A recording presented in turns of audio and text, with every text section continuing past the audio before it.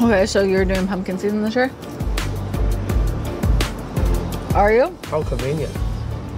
Oh, you can't talk. Oh, sorry. Mm. So yeah, I I debated like I I mean. In the beginning, I was like, "Oh my God, what are my kids gonna think?" People are gonna say, "You know, Hem and Haw, why?" But yeah, I'm doing pumpkin season this year. And it's so funny because a lot of people will ask me, well, where are the kids? Where are the kids? I said, you know what? And I think, of, well, the thing is, I think of myself at your season of life right now. I said, well, you know, if they come, they come, but I'm not expecting that. Right. I could see Zachary maybe taking Jackson, but I will not be going to pumpkin season this year. We've Really? already like we're doing our own tradition for Yeah. for harvest and all that this year, you know? Like it's just I don't I don't need to be a part of it. It's a sad place to me now and I don't need to like go to a sad place. That's just not healthy. So, It's still sad for me to go there because I'm thinking, what this could have been. yeah. things have changed, you know, the place is up for sale and Right. it's just different. It's it's like I don't even know this place anymore. Right. And then of course, you know, the whole thing between Matt and Chris, I'm like, oh brothers.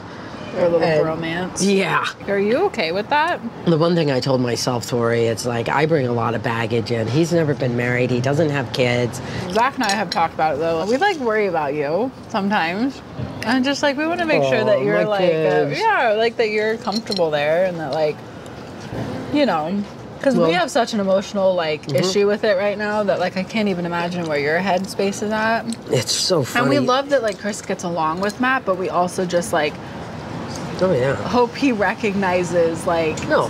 the lines. I guess. Tori told me that her and Zach were just worried about me, and I think it, it might have been the first time that I heard it so directly from any of my kids. And I really wanted to try not to be on the defense. This was really about love and concern for me.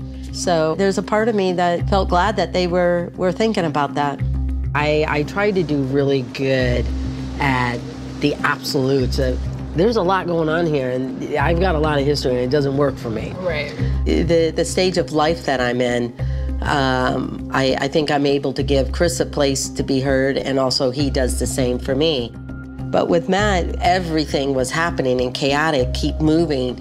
I think, you know, you lose the fact that you didn't give each other what you really need in a relationship.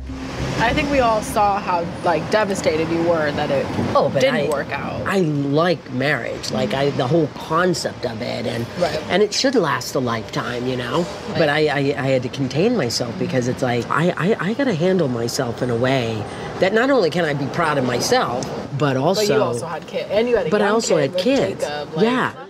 Divorce was hard on me. And I realized how much it played on me and how close I could have been destroyed internally, emotionally, mentally.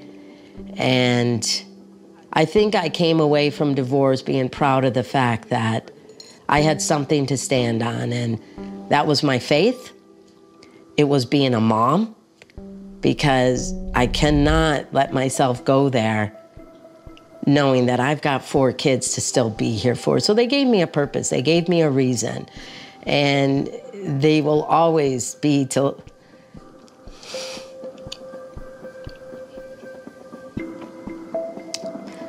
In, in a lot of ways, um, my kids were my saving grace. I just hope I was a good good enough mom for them. But seeing who they are now, seeing who they're becoming, and family life, they're married, they've got